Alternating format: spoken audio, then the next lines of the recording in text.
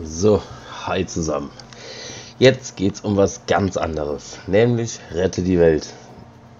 Ihr fragt mich dauernd nach Skins, kannst du mir das schenken, kannst du mir das schenken? Und ich habe schon so viel Geld ausgegeben. Ganz ehrlich, ihr könnt euch Skins eigentlich ganz simpel selber erwirtschaften, nämlich mit Rette die Welt.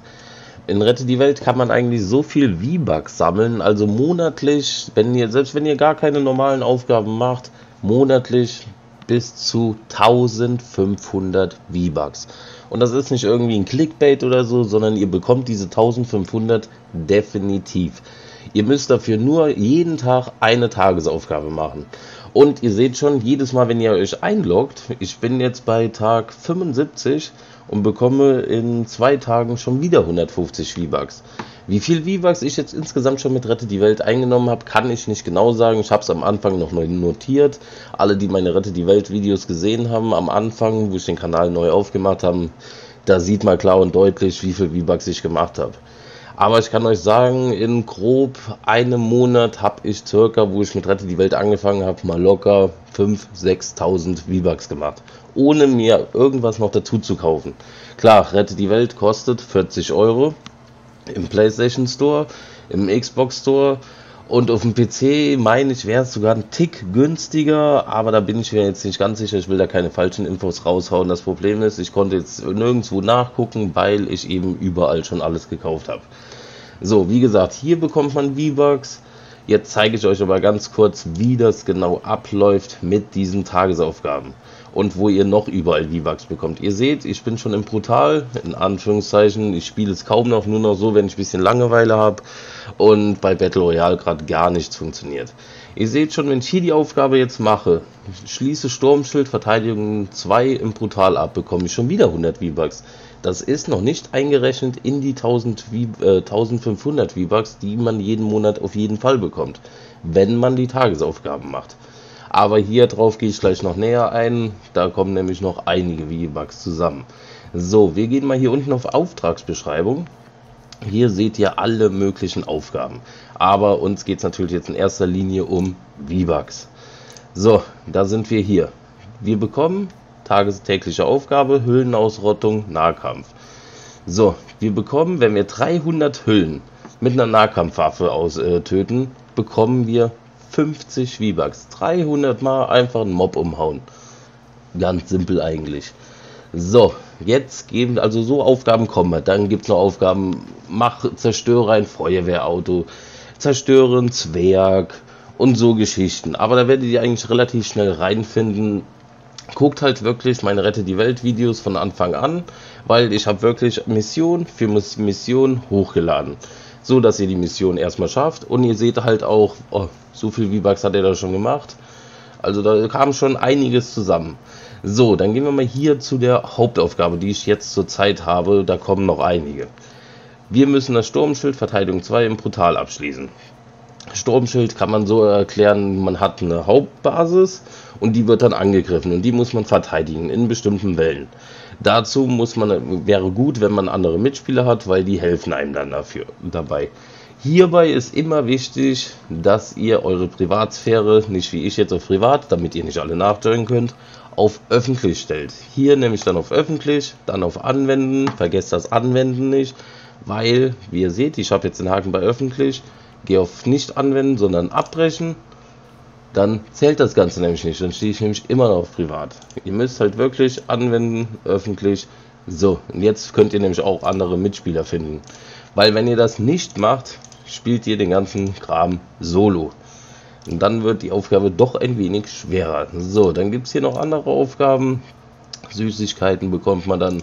Da gehe ich gleich auch noch kurz drauf ein, weil hier gibt es nochmal einen eigenen Shop. Ihr bekommt Gold. So, hier bekommt man auch nur Gold. Hier bekommen wir auch nur Süßigkeiten, aber darum geht es ja jetzt erstmal nicht. Ich wollte euch jetzt nur mal gerade zeigen, was man alles so bekommt. Hier bekommt man auch nur Skizzen-EP, Nebenaufträge, EP, EP, aber jetzt passt auf. Hier das ist zum Beispiel auch Sturmschildverteidigung 9 in der Heimatbasis. Das ist mein allererstes Level noch. Also es gibt, glaube ich, warte, nicht, dass ich jetzt Blödsinn erzählt, wir gehen kurz auf die Karte. Jeder von euch fängt hier an. Da hat man dann insgesamt 10 Sturmschildverteidigungen. Und ihr könnt gut rechnen. 10 mal 100 sind genau 1000 V-Bucks. Ihr bekommt 1000 V-Bucks, wenn ihr quasi diese Sturmschildverteidigung, wenn ihr hier drauf geht, auswählen, mein Sturmschild, wenn ihr da bis zur 10. Stufe hochkommt, das werdet ihr natürlich nicht direkt schaffen. Ich bin jetzt bei Stufe 8. Ich habe es aber auch länger nicht mehr gemacht. Müsste ich eigentlich mal langsam voll machen. Habt ihr schon da, allein nur da 1000 V-Bucks, ohne die anderen Aufgaben. Heißt im Prinzip, dann wären wir schon, wenn ihr das im ersten Monat alles macht, schon bei zweieinhalbtausend. Ohne irgendwelche anderen Aufgaben. Dann habt ihr Plankaton, das ist halt die, die nächste Welt. Ihr seht dann immer vom Level her, dass das dann immer mehr steigt. Auch in dieser Welt haben wir auch ein Sturmschild. Da bin ich bei 6 von 10. Das habe ich einmal nur so weit gemacht, dass ich im Spiel vorankomme, dass ich am Ende so viele Aufgaben, Missionen wie möglich habe. So, das hier wären dann nochmal 1000 V-Bucks. Wenn ich die hier komplett alle auf 10 abschließe, dann haben wir nochmal eine Welt. Auch ein Sturmschild. Hier, das müsste ich dann die Stufe 2 schaffen. Dann habe ich wieder 1000 V-Bucks. Also wenn ich hier alles auf 10 habe. Also ihr seht schon, V-Bucks kann man hier sammeln ohne Ende. So, dann kann man jetzt neuerdings auch im Spiel die eigenen Spitzhacken benutzen. Das wurde neu eingeführt. Also jede Spitzhacke, die ihr habt, könnt ihr auch hier im Spiel benutzen. Skins leider nicht. Ihr seht, ich muss hier mit der Pilotin rumspielen. Aber das ist dann ein anderes Thema. So, dann gibt es hier den Shop mit Lamas da jetzt genauer drauf einzugehen, da gibt es andere YouTuber, die das dann genau erklären. Ich bin die halt zurzeit einfach nur am Sammeln, damit ich irgendwann mal ein großes Pack-Opening machen kann. Weil das jetzt zu erklären wäre ein bisschen zu aufwendig. So. Und dann seht ihr schon, ihr könnt auf jeden Fall sehr viele V-Bucks am Tag machen. Hier wir gerade die Forschung, das dürft ihr nämlich auch nicht vergessen jeden Tag hier die Forschung verbrauchen, die zählt immer weiter auf und so werdet ihr natürlich auch immer stärker. So. Und wie gesagt, wegen den 1500 V-Bucks, die ihr definitiv, definitiv bekommt. Auch wenn ihr das Spiel komplett durchgespielt habt, ihr bekommt immer noch V-Bucks. Nämlich durch diese äh, Tagesaufgaben. Und diese 50 V-Bucks werden hier oben dazu gezählt. Ihr seht 3115. Wir gehen kurz in den normalen Modus rein. Nicht, dass ihr denkt, ach, die zählen ja nur für den Modus, für sich da Lamas zu kaufen oder so ein Blödsinn. Nein. So, wir gehen kurz rüber. Wie gesagt, 3115. Deshalb habe ich nämlich auch so krumme V-Bucks. Äh, äh, sag schon, so eine krumme V-Bucks-Zahl. 3115. Und das Ganze ist auch hier in einem normalen Shop einlösbar. Heißt, ihr könnt euch jeden Monat jeden Monat bekommt ihr mindestens diesen Skin, könnt ihr euch jeden Monat kaufen, wenn er im Shop ist, logischerweise. Hier den Skin, hier den Skin. Ihr seht schon, ihr könnt in Rette die Welt so viel V-Bucks machen, das steht eigentlich in keinem Verhältnis zu dem, was das Spiel kostet. Klar, das Spiel kostet 40 Euro, aber wenn ihr schon lange Fortnite spielt, dann lohnen die sich auf jeden Fall.